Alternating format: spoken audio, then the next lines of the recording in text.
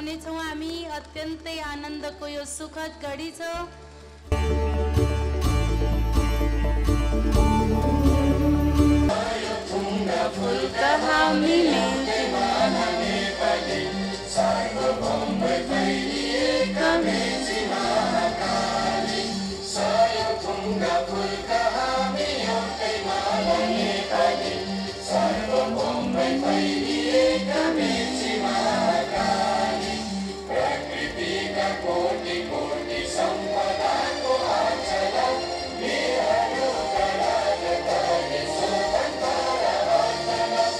विशेष मलाई धेरै नै खुसी लागिराखेको छ कि आज यस भवि नगरीमा विशेष गरी हाम्रो दादीज्यूको विशेष पधारमणि भयो कि यस दुहै नगरी पवित्र भूमि पवित्र वरदान जो दादीज्यूले विशेष आफ्नो शुभ सङ्कल्प लिएर जो यस दुहबीलाई नवनिर्मित भवनको जो वरदानी भवनको जो वरदान दिनुभएको छ तर हामी सबैले यो वरदानलाई आफ्नो लाभ उठाउनुहोस्। कि यो वरदान दिनुको भएको यो वरदानलाई आफ्नो जीवनमा कायम गर्नुहोस्। यो वरदानलाई आफ्नो जीवनमा एउटा दिव्य सिङ्गार सम्झेर सिङ्गार गर्नुहोस्। सुख शान्तिको अनुभूति गर्नुहोस्। त म आफ्नो दुई शब्द यही अन्त गर्दछु।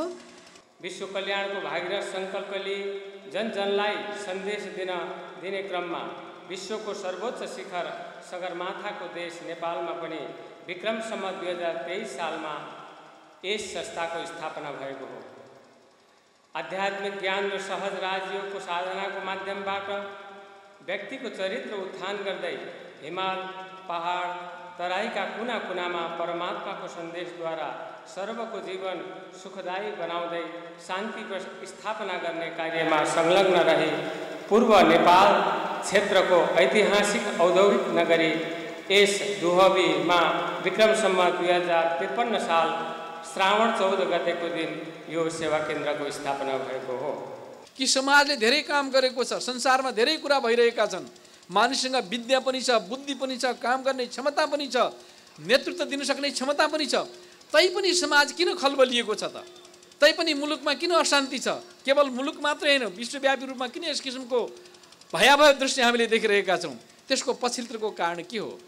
र यहाँनिर भन्नै पर्दछ सच्चा आध्यात्मिक ज्ञानको अभाव छ। त्यसो त धर्मका नाममा धेरै प्रकारका धर्म आध्यात्म चलिरहेका छन्। मान्छेले धेरै प्रकारको भक्ति भावको काम नगरेको होइन गरिराख्नु भएको छ। तैपनि परिवर्तन किन हुँदैन त? भन्दा त्यसको लागि एउटा फियर आध्यात्मिक ज्ञान स्वच्छ एउटा स्पष्ट आध्यात्मिक ज्ञानको आवश्यकता पर्दछ। ओम शान्तिले जहिले पनि मलाई लाग्छ सिकाउँछ। हाम्रो मन र मस्तिष्क सधैँभरि सकारात्मक हुनुपर्छ।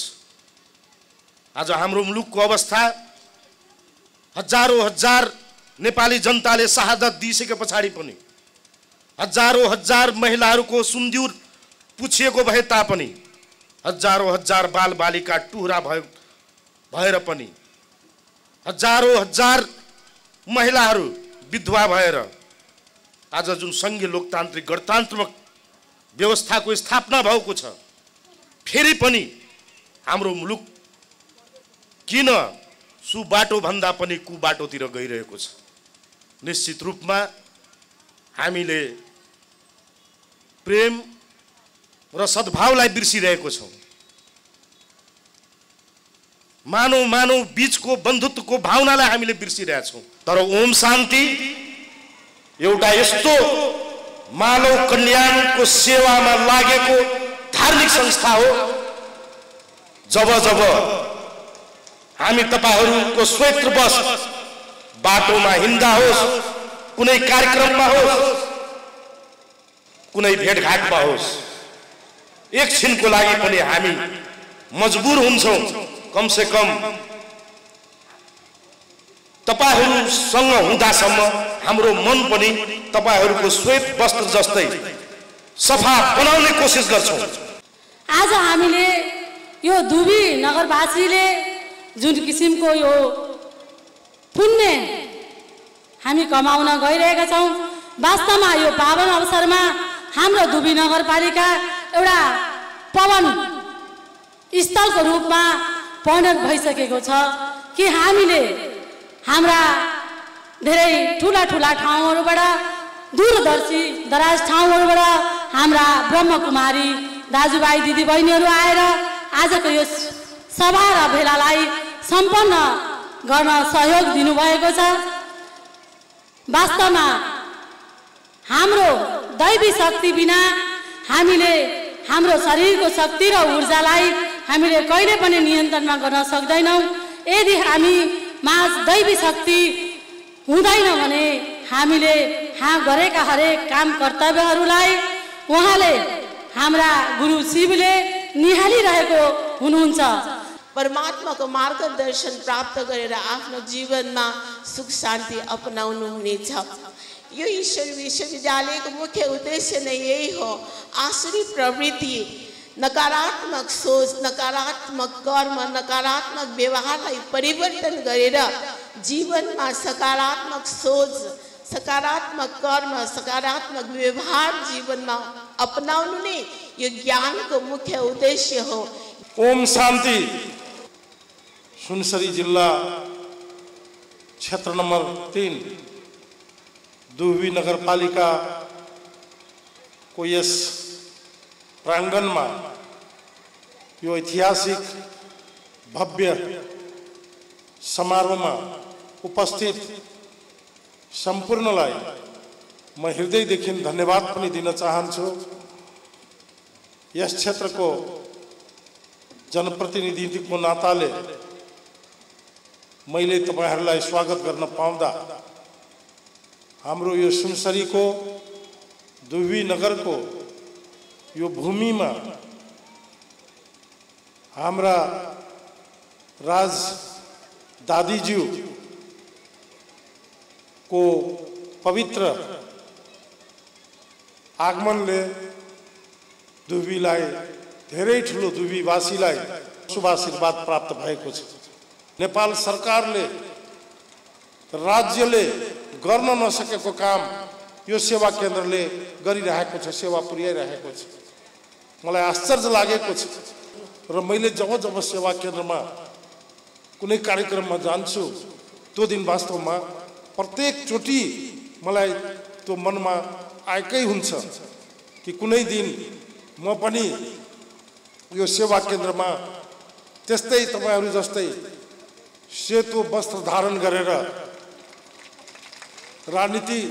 राजनीतिबाट म अलग भएँ भने तपाईँहरूकै सेवा केन्द्रमा आएर समर्पित भएर बाँकी जीवन म बिताउँछु भन्ने मलाई मनमा आएको हुन्छ। ओम शान्ति। शान्ति शान्ति कति सुंदर कति प्यारो। ये शांति को सत्संग ये शांति को संगठन, ये फूलों का बगीचा, जिसमें प्यारे भगवान के बच्चे, फूलों के समान सभी को सुगंध दे रहे हैं। ऐसे काढ़ा के जंगल को मंगल बना रहे हैं। अब किस किस का गुणगान करें?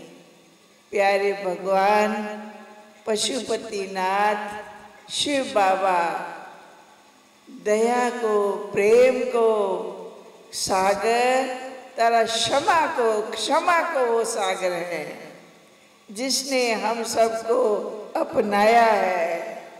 तो ऐसे समय पर अब मंत्री जी का क्या कहे हम?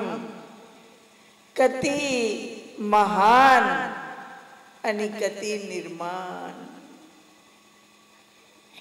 ऐसी निर्माण आत्माएँ भगवान को ऐसे समय में चाहिए। अब एक एक आत्मा, एक एक प्यारे शिव बाबा के सेवाधारी सब भगवान की बुझाएँ हैं। भगवान की बुझाएँ हैं। हाँ ये भगवान की बुझाएँ हैं। कस्तो कस्तो देखो मन्त्री भ्राता जी बोल रहे थे। मलाई, कस्तो अनुभव भइरहेको थिए जस्तो इनके भीतर सागर को समान, कति दे कति दे कति दे कति दे। त्यस्तो भइरहेको थिए नेचुरल रियल स्वभाव संस्कार, जिस पर मेहनत नहीं लगती है। स्वाभाविक मुख बाटा निष्कता है कि ना कि मन के भीतर है। अस्ति बोली, पता नहीं, कोई भाई ले बने को, दीदी, कि बहन ले बने को? आज को संसार दस्तो छ, दीदी। क्रोध करना नेचुरल है। सहज है। हम सहज ही कर लेते हैं। झूठ बोलना हमारा स्वभाव है। हमें सहज लगता है। ये नेचुरल हो गया हुआ है। सच बोलना हमें अलिकती मेहनत लगती है। रीस नहीं करना, प्रेम, प्यार से सबके साथ व्यवहार करना हमें उसमें मेहनत लगती है। तारा निंदा, इता कोता इता कोता फूट डालना हमें रामरो लगता है नेचुरल लगता है। ये सब क्या है? ये सब भगवान पशुपति नाथ ने हम सबको समझाया है। जो देखो दियली असुर संहारनी असुर का संघार, ये कोई मानव नहीं है। ये आसुरी वृत्ति हम मानव के भीतर है। अपने भीतर आसुरी स्वभाव संस्कार हमें समाप्त करने हैं। कोई स्थूल खड़क शंक ये सब नहीं है। हमारे मन के भीतर हमारे आवाज़ आती है। जागो, सुनो, हेरो, भगवान क्या बतलाते हैं? कोई नहीं सुनने वाले की बाणी इधर से सुना, इधर से गया। उन्हें इतना इंटरेस्ट कम होता है। उन्हें अपनी कारोबार करते रहना है। हम भी तो कारोबार करते हैं।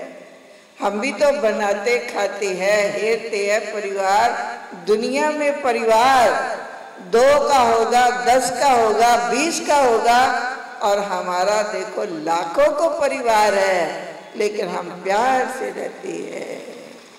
भगवान पिता जब लास्ट में हमें राइट तरफ़ ले जाने के लिए हमारे में कमी, कमज़ोरी सब निकालते हैं। क्या है कमी, कमज़ोरी? क्या फैल रही है? राम रो बनना है। प्यार से जीना है। प्यार से जीने देना है। इस आश्रम में इस संस्था में घर छोड़ो, परिवार छोड़ो, ये छोड़ो ये छोड़ो, नहीं बतलाया जाता।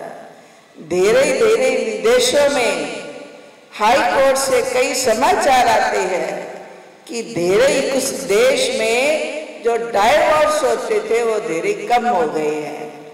कि ना, उन्होंने ओम शांति का ज्ञान सुना तो वहाँ तो पत्नी पत्नी छिन में छोड़ा एक जोड़ा मन पसंद दूसरा किया, ये कम हो गया वहाँ पर। वो आपस में प्रेम और प्यार से रहते हैं।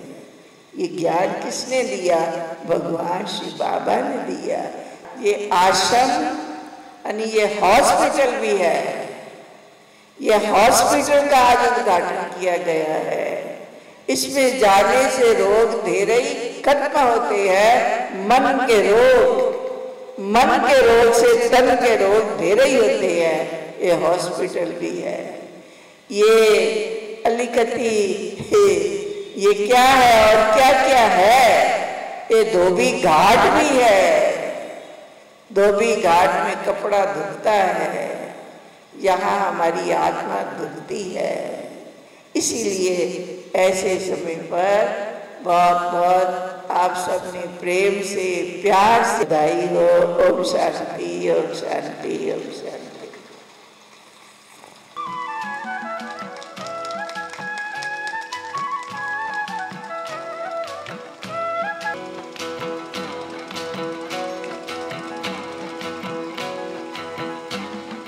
प्रमुख अतिथिज्यूलाई प्रदान गरिरहनु भएको छ। राधा